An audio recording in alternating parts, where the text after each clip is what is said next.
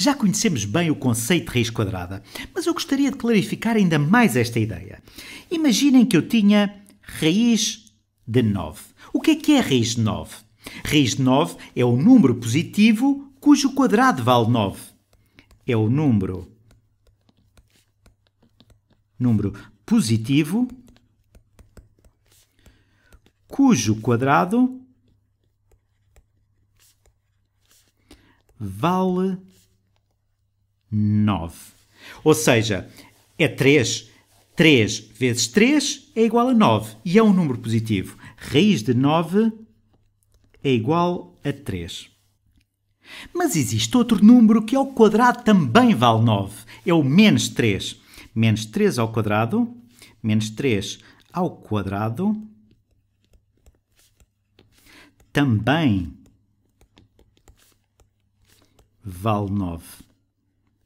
Mas nós, quando queremos referir-nos à raiz quadrada, estamos sempre a pensar no número positivo que ao quadrado vale 9. Se quisermos pensar em menos 3, então também podemos escrever menos raiz de 9. E isto, de facto, é igual a menos 3. Ou, mais geralmente, podemos pensar nos dois números que ao quadrado dão 9. E, nesse caso, escrevemos mais ou menos raiz de 9. E isto vai ser igual a mais ou menos 3. Nós, neste vídeo, queremos falar sobre a função y igual a raiz quadrada de x e também sobre a função que está relacionada y igual a x ao quadrado. E depois, se tivermos tempo, ainda queremos falar sobre contrações, dilatações e translações dos gráficos associados a estas duas funções. Então, vamos começar por criar aqui umas tabelas. Vamos criar aqui uma tabela para esta equação. Aqui colocamos o x, aqui colocamos o y. E agora vamos criar também uma tabela para esta equação. Aqui colocamos os valores de x e aqui colocamos os valores de y. Agora vamos escolher aqui alguns valores para x. Por exemplo, se x for igual a zero, então o y vai ser zero ao quadrado, 0 vezes 0, ou seja, 0. Se o x for 1, então o y vai ser 1 ao quadrado, ou seja, 1 vezes 1, que é 1. Se o x for 2, então o y vai ser 2 ao quadrado, ou seja, 4. Se o x for 3, então o y vai ser 9, 3 ao quadrado. E finalmente, se o x for 4, então o y vai ser 16. 4 vezes 4. Agora vamos ver o que é que acontece aqui. Se o x for 0, então o y vai ser raiz de 0. E raiz de 0 é 0. Não há qualquer dúvida. Se o x for 1, então o y vai ser raiz de 1. E já vimos que há dois números que ao quadrado dão 1, mas só um deles é que é raiz quadrada de 1, que é o 1. Então, raiz quadrada de 1 é 1. Se o x for 4, então raiz de 4 é 2. É o número que ao quadrado dá 4, o número positivo. Se o x for 9, então o y vai ser raiz de 9, que já vimos que é igual a 3. E finalmente, se o x for 16, então o y vai ser raiz de 16, 4, porque 4 ao quadrado é igual a 16 e 4 é um número positivo. E uma coisa que salta à vista aqui é que existe aqui uma relação entre estas duas tabelas. Reparem que a coluna que estava aqui por baixo do x, aqui aparece por baixo do y, e a coluna que estava aqui por baixo do y, aqui aparece por baixo do x. E de facto tudo isto faz sentido. Porque reparem, nós temos aqui esta equação. Se nós elevarmos ao quadrado ambos os membros desta equação, então ficamos com y ao quadrado igual a x. E isto só é válido para x maior ou igual a zero.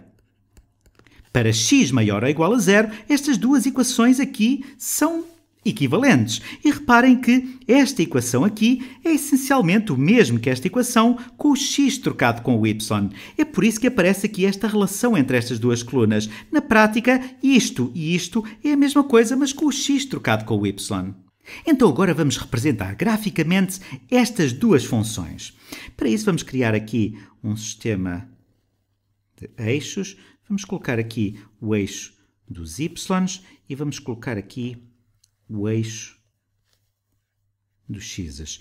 Então, agora vamos um, colocar aqui uma, uns pontos, o 1, o 2, o 3, o 4, o 5, o 6, o 7, o 8, o 9, o 10, o 11, o 12, o 13, o 14, o 15 e o 16. 1, 2, 3, 4, 5, 6, 7, 8, 9, 10, 11, 12, 13, 14, 15, 16. Agora reparem, quando, neste caso, para y igual a x ao quadrado, quando o x valer 0, então o y vale 0. Então temos um ponto aqui. Uh, depois, quando o, quando o x valer 1, o y vale 1, então este ponto também vai estar no gráfico. Depois, quando o x valer 2, o y vale 4 este ponto vai estar no gráfico. o ponto 3, 9 também vai estar no gráfico. 3, passa aqui, 1, 2, 3, 4, 5, 6, 7, 8, 9.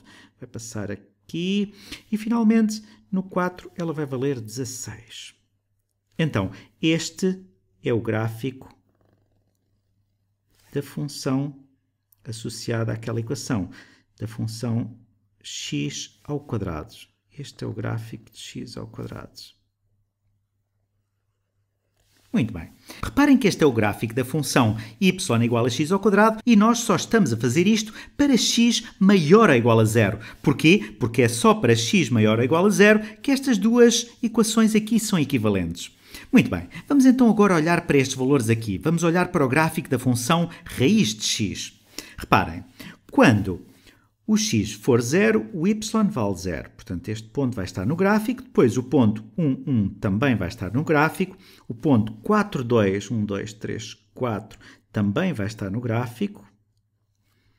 Este ponto aqui também vai estar no gráfico. E depois o ponto 9, 3, 1, 2, 3, 4, 5, 6, 7, 8, 9, 9, 3. Este ponto também vai estar no gráfico. E finalmente 16, 16, 4 vai ser um pouco mais acima. Portanto, o gráfico da função raiz quadrada vai ser qualquer coisa como isto. Qualquer coisa como isto. E reparem que existe uma relação aqui entre estes dois gráficos. Eles são simétricos em relação à reta y igual a x. E isto faz todo o sentido, porque reparem que essencialmente são a mesma equação com o x trocado com o y. Estes dois gráficos é como se fossem os gráficos, de certa forma, da mesma função, mas com os eixos trocados. Mas vamos fazer isto numa calculadora. Eu encontrei esta calculadora na internet e se quiserem podem ver aqui uh, uh, o endereço e podem, uh, podem aceder a esta calculadora online. Então vamos desenhar o gráfico destas funções que nós tivemos aqui a trabalhar aqui nesta calculadora. Reparem, a vermelho eu vou pôr a função x ao quadrado e a verde a função raiz de x. Reparem que aqui do lado direito eu tenho aqui várias opções, vários botões onde eu posso escolher as várias funções. Então, primeiro temos o gráfico da função x e depois temos o gráfico da função raiz de x. E se repararem aqui no primeiro quadrante, nós obtivemos essencialmente o gráfico que nós fizemos à mão da função x e da função raiz de x.